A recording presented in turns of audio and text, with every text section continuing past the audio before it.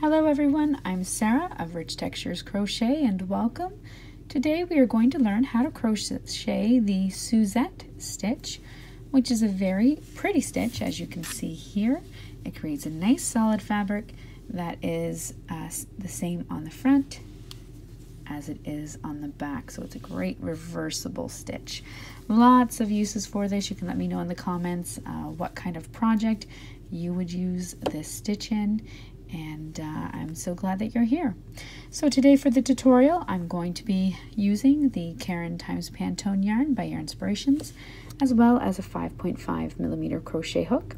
There'll be links for both of these items in the description of this video, as well as a link for the free written instructions for the Suzette stitch, which is found on my blog at richtexturescrochet.com.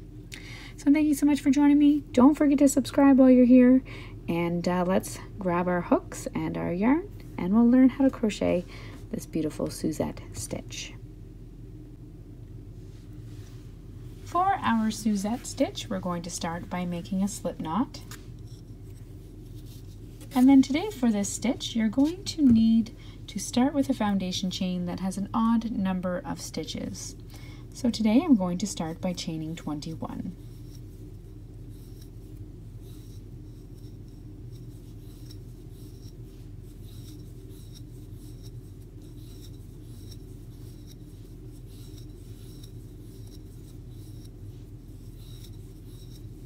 Twenty and twenty-one. Then what you're going to do is into the second chain from your hook, so count in one, two, you're going to start by working one single crochet stitch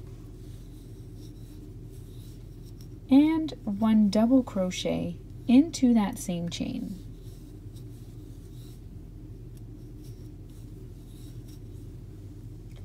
Skip one chain and then into the next chain work a single crochet and a double crochet stitch.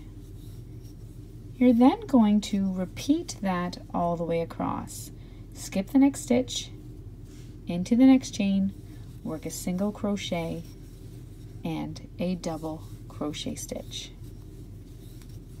Skip one, single crochet and double crochet into the next.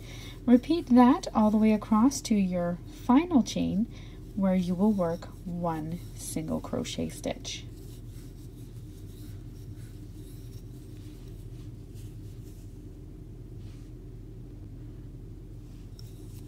So in your last stitch, this is my last pair, single crochet,